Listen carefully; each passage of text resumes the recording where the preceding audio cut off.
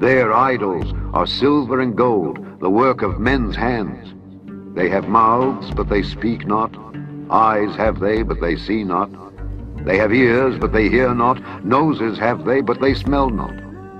They have hands, but they handle not. Feet have they, but they walk not. Neither speak they through their throat. They that make them are like unto them. So is every one that trusteth in them.